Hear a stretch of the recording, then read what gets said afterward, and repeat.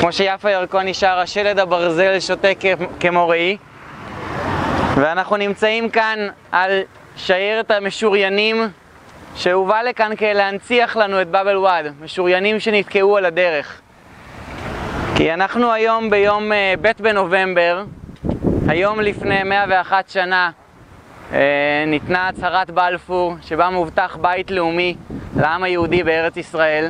וגם ב-1898 ניטע ארז של הרצל בארצה. נכון. תודה.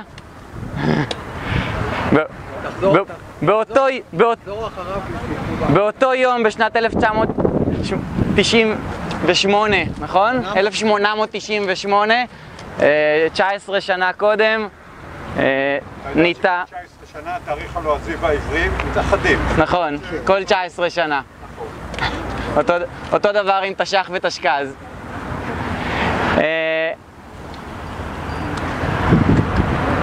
אז 30 ו... כשה, כשהצהרת בלפור ניתנה, הצבא הבריטי עוד עומד במצרים, אבל כבר מתכנן את, ה... מתכנן את כיבוש הארץ. וכעבור חודש וחצי הגנרל אלנבי נכנס בשערי ירושלים, וזו תחושת גאולה גדולה לתושבי ארץ ישראל בכלל, לתושבי ירושלים היהודים. ו... ואם יש פה מנדט ומובטח בית לאומי, אז יש הרבה ניסיונות שירושלים תהיה הבירה של המנדט הזה. ו... ולה... ולהעביר פעילות ציונית שעד עכשיו הייתה מרוכזת בעיקר בתל אביב לירושלים. ואחרי 30 שנות מנדט, אז הפעילות הציונית עוד מחולקת, לא נגיד שכולה בירושלים, אבל המרחב, המרחב שפה בין יהודים לערבים מורע בהרבה. כשה, כשהבריטי האחרון יוצא מפה ב-1948, ברור לחלוטין שיש, שהולכת להיות פה מלחמה מצד שני הצדדים, ו, ומבחינת הרבה אנשים זה עד המוות, כי אי אפשר לחלוק את הארץ בתנאים האלה. יום לאחר כ"ט בנובמבר, 31 שנה קדימה ועוד קצת, קצת פחות מחודש, ההצבעה באו"ם, שעכשיו אפשר גם לראות את המפה השנייה, המפה של 1947, אני בטוח שכולכם מכירים אותה, מפת החלוקה של האו"ם, ואנחנו יכולים לראות שבזכות אותם 11 מצפים בנגב, אז רוב הגדול של הנגב יהודי. ואולי בזכות קצת ההתיישבות בהר שנוספה, אז הדרך לירושלים היא כבר לא של האו"ם, אלא חלק מהמרחב הערבי של הארץ. כלומר, ירושלים נועדה להיות שטח בינלאומי, אבל מנותק, כי להגיע אליה צריך לעבור בלב השטח הערבי. ויום לאחר ההצבעה, אה, ליד פתח תקווה, נורית ירייה ראשונה על אוטובוס שבדרכו מנתניה לירושלים, וזה מבשר לנו בעצם את המלחמה על הדרכים. כי בחודש דצמבר, ככה קצת מכוניות שעוברות פה בדרך לירושלים נורות, נורית עליהם ירייה, ומחליטים ש... שכבר לא עוברים לבד על הדרך, אלא מי שרוצה לנסוע בדרך הזה, הזאת, ייסע בשיירה, וייסע עם משוריין, ואנחנו רואים פה בית מלאכה למשוריינים בתל אביב, כדי להכין את היכולת לחיות בירושלים. 100 אלף יהודים בירושלים צריכים לחיות. צריכים אוכל, צריכים מים, צריכים ציוד רפואי, צריכים תחמושת. אבל כשכבר יש משוריינים ויש שיירות, אז מוקמים מחסומים על הדרך, שנועדו לעצור את מי שמנסה לעבור בשיירה, כדי שמהרכב הראשון יצאו אנשים וינסו לפרק את המחסום, ואז תבוא אותה כנופיה של אנשים, אנשיו של עבד אל-קאדר אל-חוסייני, ותתקוף אותם. ואפשר להגיד שמשך ארבעת חודשי הלחימה הראשונים, חודשי דצמבר, ינואר, פברואר, מרץ, במרחב הזה של הדרך לירושלים, באב אל-ואד, ידיו של עבד אל-קאדר אל-חוסייני והכנופיות הערב, הערביות אה, מובילה. ובחודש מרץ נתקעות כמה שיירות גדולות בכל הארץ, שיירת חולדה שעולה לירושלים, אה, ושיירות נוספות. כן, כמובן שיירת יחיעם, שיירת נבי דניאל, שיירת הר הצופים. ובסוף חודש מרץ מתכנס המטה של ההגנה וחושב איך אפשר לפתור את הבעיה הזאת. באותם זמנים גולדה מאיר מסתובבת ברחבי ארצות הברית לאסוף תרומות למען מלחמתו של העם היהודי על קיומו. כי אם יש כאן מלחמה ואנחנו נפסיד בה, אז אנחנו נמות כדי לנסות ולא להפסיד בה. אז זה מלחמת העם על, על קיומו, מלחמת היישוב בארץ על קיומו. ובאותם זמנים מסתובבים באירופה אנשים, אחד מהם טדי קולק, לימים יהיה ראש עיריית ירושלים, במשלחת רכש, משלחת לקנות אה, נשקים, לקנות תחמושת, לקנות מטוסים, לקנות כל מה שאפשר כדי להצליח לשרוד את המלחמה הזאת. וכבר הצליח לרכוש לא מעט, ובן גוריון ניגש לאחד מטובי מפקדי, אה, מפקדינו בארץ באותם ימים, יגאל אלון, ושואל אותו כמה אנשים אפשר לארגן בשביל לא רק לנסות להגן על עצמנו בדרך, אלא לנסות לכבוש את הדרך, לנסות לפנות את המרחב מהכנופיות שלא נותנות לנו לעבור. ויגאל אלון עושה חישובים, פה אני אשאיר ככה לוחמים, פה אני אשאיר ככה, פה אני אארגן ככה נשק, 400 איש. 400 איש למבצע שמטרתו לפנות את הדרך. בן גוריון שומע 400 איש ואומר אין מצב. אנחנו צריכים 1,500 איש. אני לא יכול להפקיר את כל שאר הגזרות. אין לי, אין לי נשק, אין לי תחמושת ל-1,500 איש. נביא, כמה שיותר מהר. והמבצע הזה מתוכנן לראשון לאפריל, יוצא בפועל אה, יום וחצי אחר כך, בלילה של בין השני לשלישי, כש, כשכדי להביא את הנשק לפה, מביאים מטוס מאירופה לארץ, כי זאת הדרך היחידה להגיע.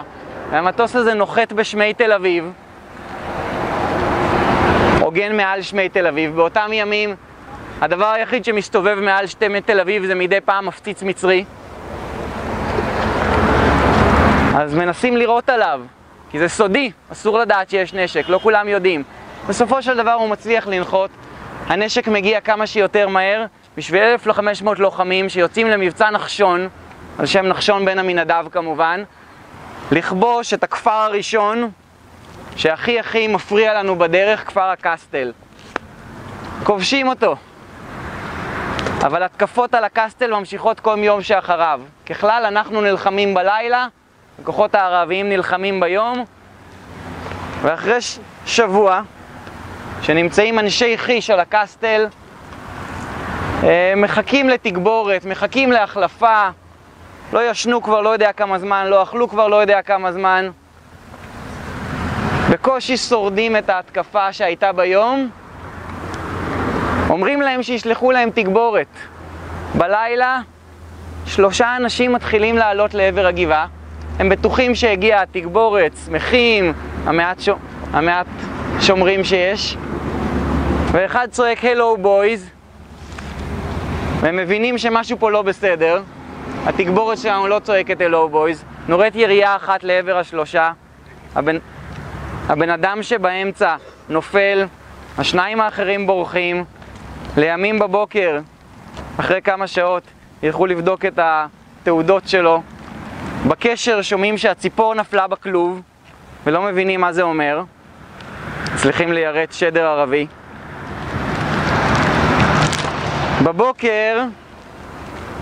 מבינים שב, שבירושלים מתארגנים ללוויה. אבל כל תושבי הכפרים הערביים באזור מגיעים לנקום במגני הקסטל על זה שהם הרגו, הרגו את המנהיג שהם היו בטוחים שיציל אותם. אה, האחיין של מחולל התנועה הפלסטינית, חאג' אמין אל-חוסייני, נהרג פה בקסטל, כלומר שם בקסטל, נראה אותה כשנהיה אל נווה אילן.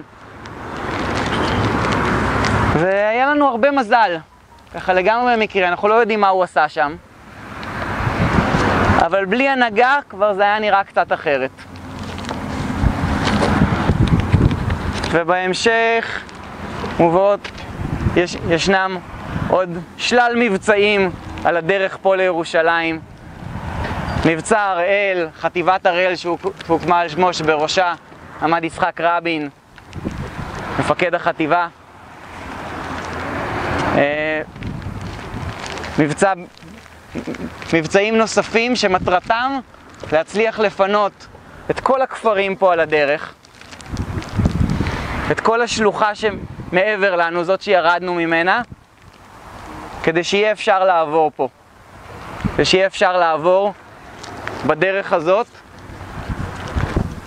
1,200 לוחמי ומגני ירושלים, חטיבת הראל, שיצאו לילה אחרי לילה למבצע פה באזור במשך, במשך חודשי אפריל, מאי, תחילת יוני, קרבות עשרת הימים של, של, של חודש יולי, כדי להצליח ולפנות את 40 הקילומטר שבין חולדה לבין ירושלים על, uh,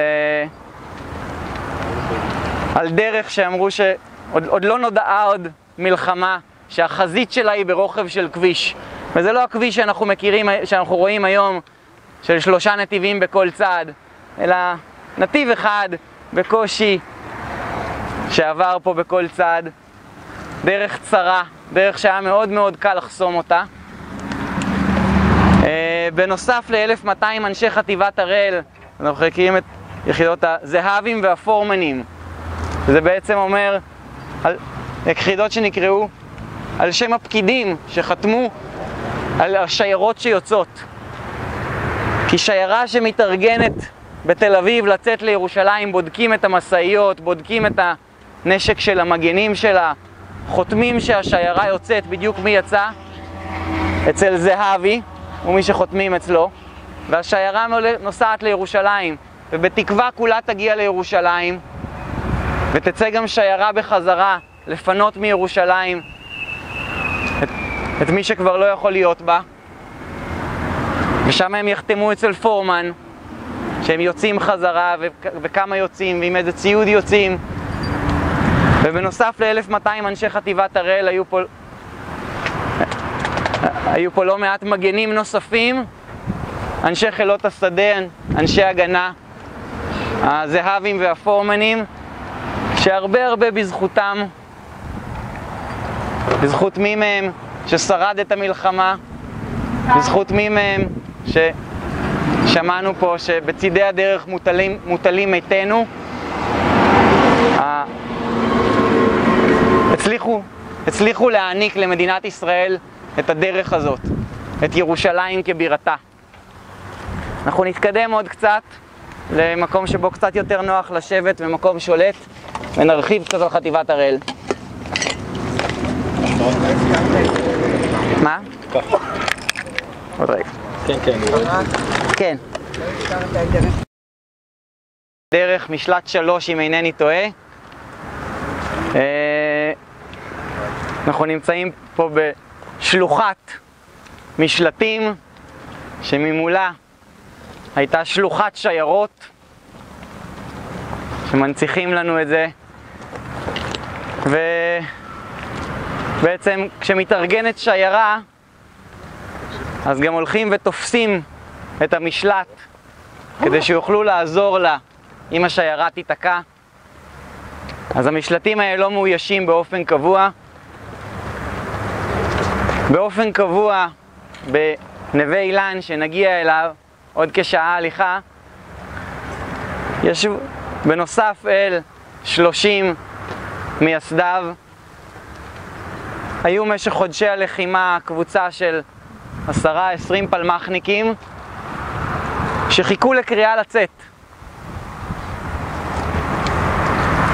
אליעזר שנפגוש בין השאר היה בפלמ"ח והם חיכו לקריאה לצאת כדי להגן על שיירה וכשכבר הדרך פה הייתה שלנו אבל נקודה אחת בדרך עוד לא ממש הייתה שלנו לטרון כי יום, כי יום אחרי הכרזת העצמאות הלגיון הירדני מגיע לכאן לגיון הירדני, לגיון של בדואים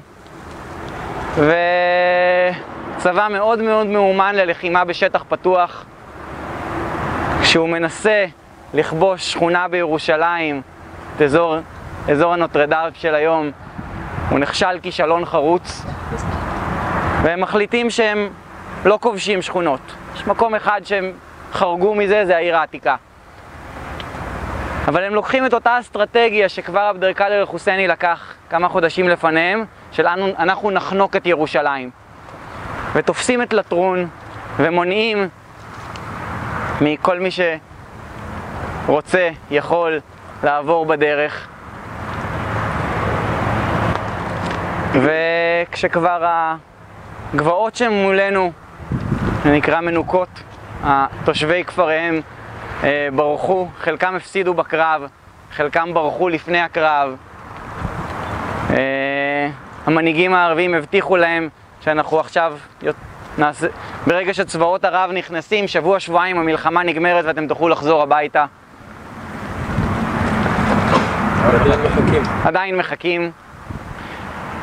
אה, והיה אפשר, היה צריך לחבר עוד פעם בין ירושלים לתל אביב. כי לטרון תפוסה.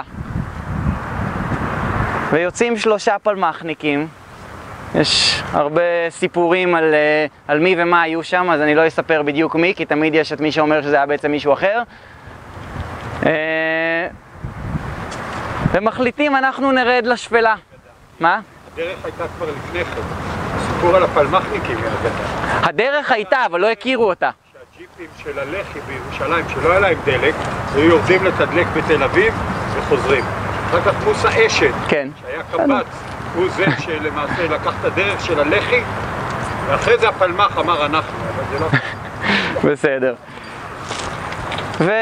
ומגלים דרך, לא משנה בדיוק מי הדרך, מי הדרך, מה הדרך. מגלים דרך שרובה הגדול טוב למ... למעבר ג'יפים, למעבר רכבי 4 על 4. חלק קטן ממנה עוד לא כל כך. ומובאות משאיות מצד אחד של הדרך, כמה שמגיעים, ומצד שני של הדרך, כמה שמגיעים. והלוחמים סוחבים את הציוד על הגב בין המשאיות, את, הש... את הקילומטרים הבודדים שהמשאיות לא יכולות לעבור. ומתנדב שמגיע לארץ באותו זמן, קולונל אמריקאי, בוגר מלחמת העולם השנייה.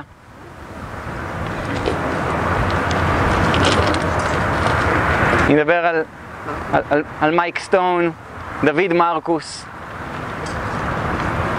שמוטלת עליו המשימה להכשיר את הדרך הזאת.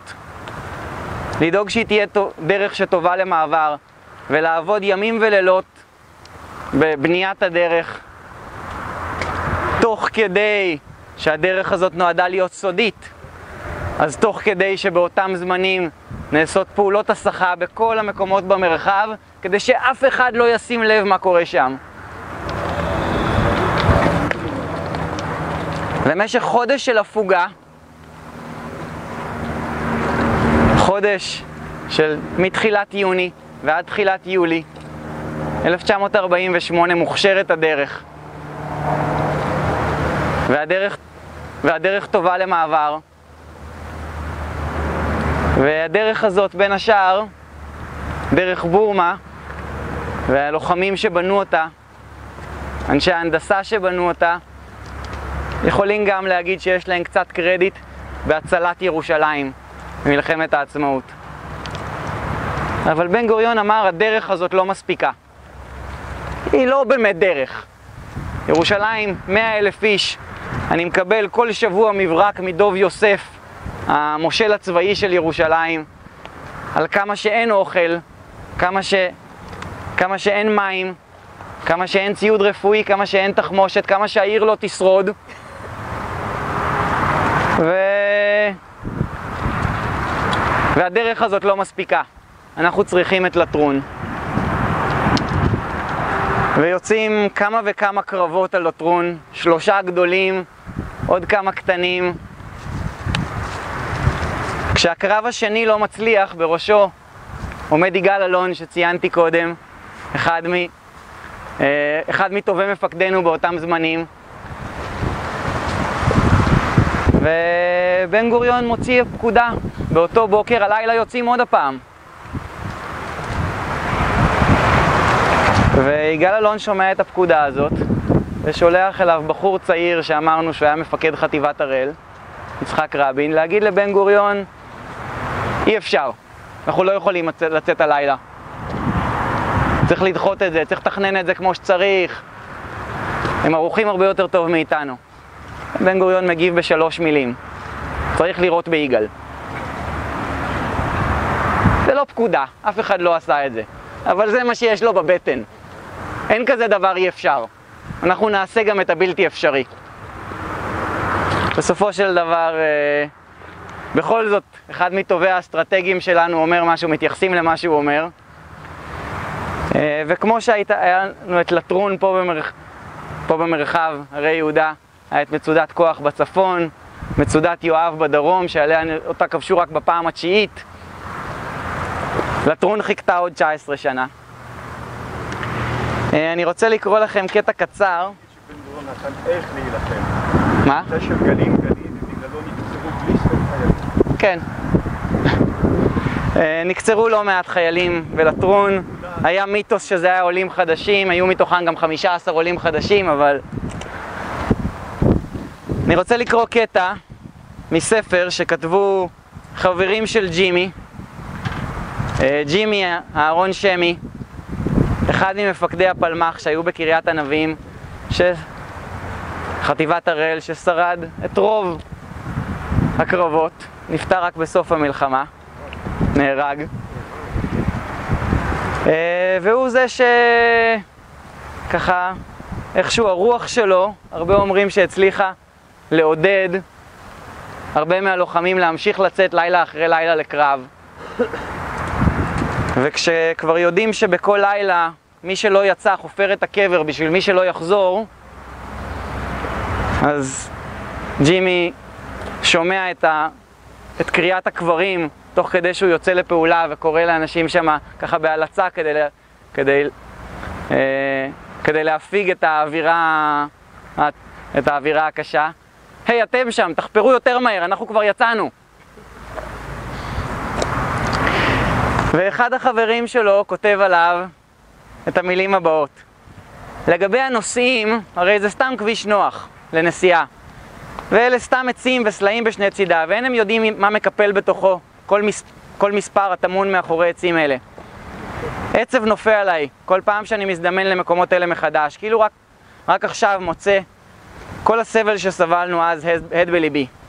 אז שישבנו צמודים אל הסלע מתחת לעץ ועסקנו בבדיחות ובצ'יזבטים, לא הרגשנו בסבל הזה. כי היה את מי שנתן את הבדיחות והצ'יזבטים. עכשיו כל קטע של כביש זה קשור בזיכרון על משהו, והמשהו הזה צורב את הלב. מעלינו, נווה אילן, אה, דרכנו אה, מוכוונת לשם, יש לנו כשעה הליכה.